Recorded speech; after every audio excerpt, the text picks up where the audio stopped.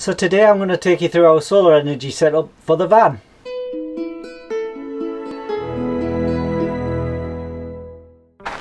So firstly we're going to start off with the solar panel which is a 100 watt Renogy suitcase solar panel and it comes in this nice protective case.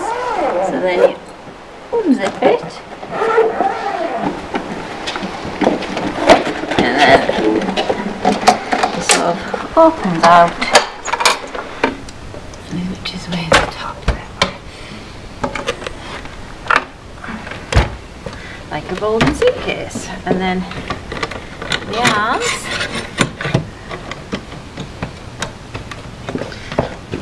Come out here.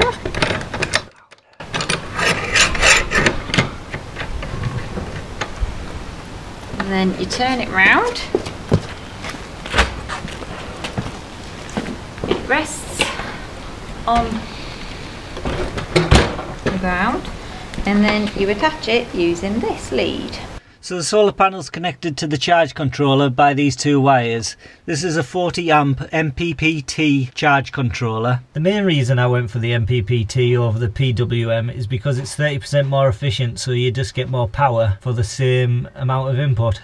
Then it runs through these two wires to the 50 amp fuse. From there we run to the 2000 watt pure sine wave inverter. Now this is a 12 volt system so we have to transfer the 12 volt energy into 240 volt power to run appliances from the house.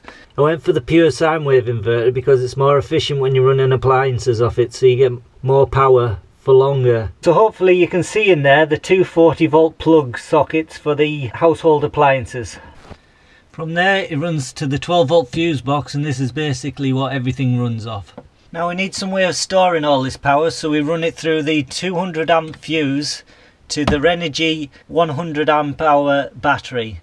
This is a lithium iron phosphate battery. It's a lot more expensive but it is better quality. The problem with lead acid batteries and AGM batteries is that you can only run them down to 50% but this you can run down all the way and it has 4000 charge cycles out of it rather than the 400 to 600 that you get in the other batteries. This is the control panel for the solar charge controller. It just gives you all the information that you need for how much uh, watts you've had in the and how much you're getting at one time. You just flick through, pick the information that you need and it comes in useful. And last but not least, this is where we run all our stuff from. Comes from the 12 volt fuse box and it's just USB connectors. So you can charge your phone, your Garmin's, anything you need to charge.